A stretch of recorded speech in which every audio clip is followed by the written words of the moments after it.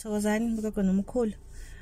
Eh ngiyathemba ngiyaphila usuku namhlanje. Em namhlanje ngithi nje ake sibhekise endabeni yenhlambuluko.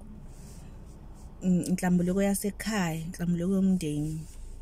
Yini inhlambuluko?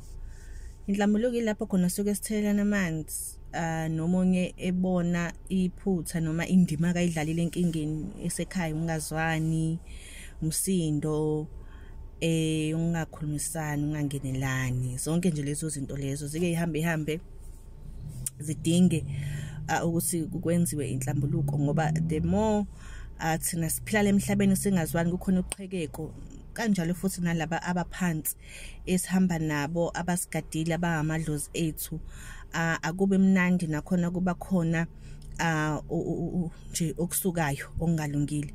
Kubalekile ukuthi sihambe sihambe siyenze inhlambuluko nje sithelelana amanzi ekhaya. Uma wazi ukuthi wonile akuve kunepower ukuthi ngiyaxolisa. Noma kwesinye isikhathi wazi ukuthi awonanga kodwa nje for a sake of peace nokuthula ekhaya uxolise nje nalawo obona khona ukuthi awonanga kodwa ufisa kube khona ke ukuthula. Kubalekile futhi ukuthi uxolise uma umntwana kubazali bakho mekuya ngosikhala lapho wakwabona khona ngoba nakho lokho kuyaba nomthelela ekutheni into zethu iphindele emumva so ake sibheke lento yenhlambuluko. Ibalekile iyasiza iyavula inhlanhla iyakhanyisa. Makhosi.